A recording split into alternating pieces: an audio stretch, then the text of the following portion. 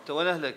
أنا زادني شرف زرتك إي والله أنا أحمد الزعفراني والله سيدي ما حد يسوي لي أروح اداره التقاعد يطردوا أروح المناء يطردوا وأنا قاعد البيت في ايجار وهذا حال هذا هذا شوفه انت وين منصاب؟ هاي شلون اجتك؟ ليش؟ من وتسعين. هسه عندك راتب ولا ما عندك راتب؟ ما عندي عندي اللي يعطوني مال رعاية. فانا مال رعاية يعني سيدي 200 إيش عندك تعالى؟ زين. أنا عندي تسع نفر. اخو أبويا مريض بالافراز وجهالي أنا وجهالي سبعة. وأخويا ظهره مكسور وقع من الجملون وطي ظهره. يشتغل عماله وهاي وهاي رقم الضمانه مالتي. يم وهاي. بسيطة. آه، أنت عندك بسطة؟ أنا عندي محل هو تابع آه، تعرف سيدي يعني يجي قام يبني عشوائيات.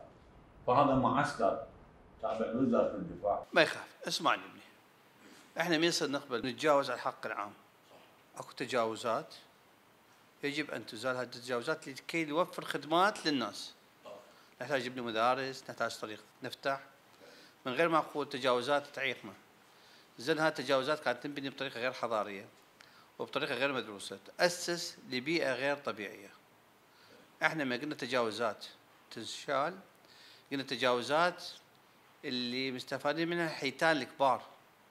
أما طبقة الفقراء مثل حال الآخرين نعم نعترف أكو تجاوز من قبلكم بس إحنا ما يصير بهالظروف. نرفع التجاوزات مالتكم نلقي لكم بدائل.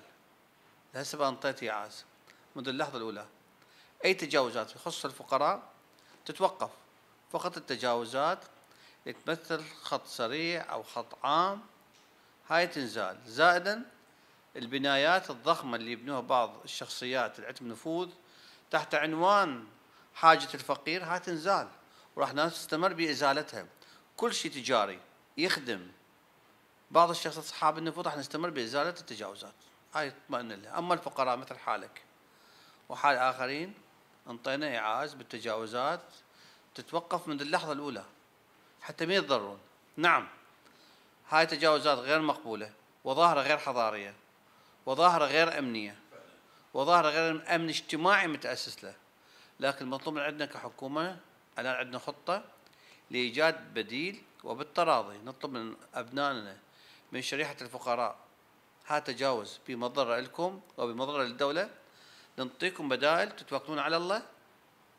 مناطق خاصة نعطيكم نبنيها بصورة نموذجية ونسلمها لكم مجانا. اطمئن. هذا حيصير زين ابني موضوعك انت. أنا عرفت عندك انت إيجار. آه، دفعوا له إيجار. مال سنة كاملة. زين؟ آه، المعاملة مالته مال التقاعد اطمئن. معاملتك سوف اتابعها شخصيا. مثل ما دزيت عليك تحياتي لك لعائلتك. أتمنى لك كل الخير. توكل. توكل.